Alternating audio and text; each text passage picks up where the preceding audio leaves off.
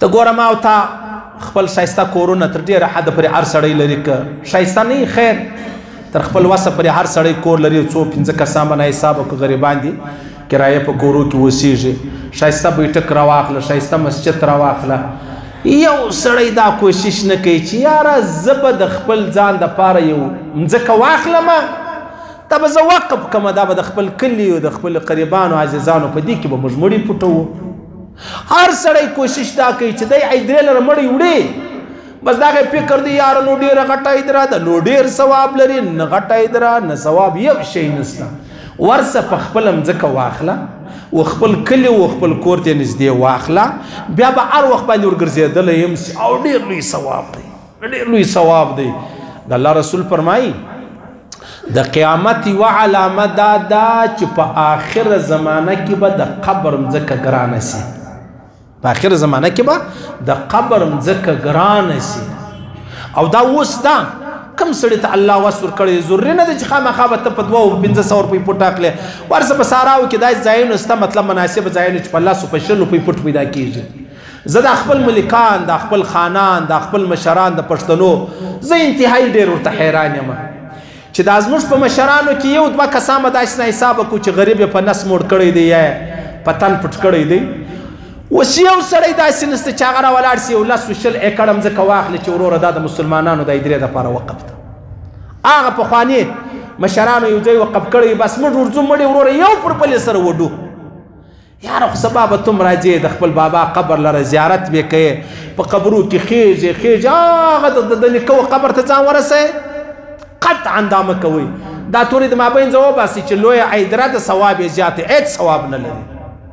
که د سړي سره خپل ایمان ورسره ولو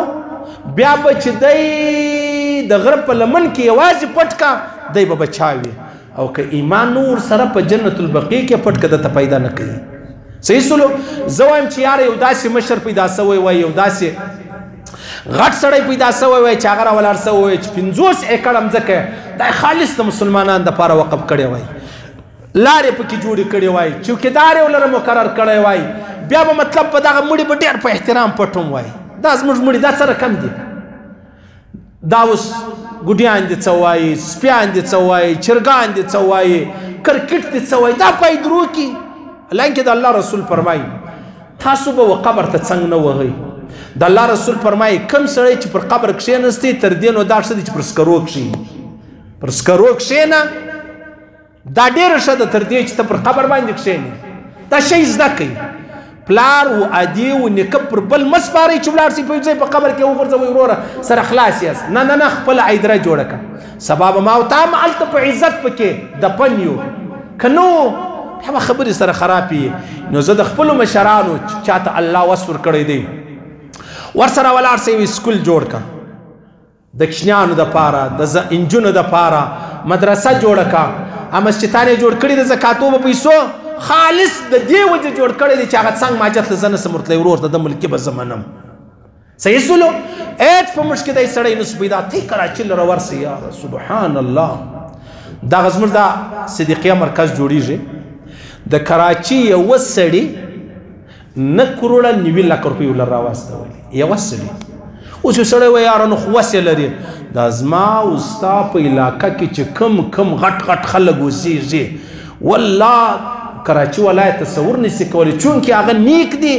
زما او ستا چې دی هغه د نیکی د لارې سه اوښت دي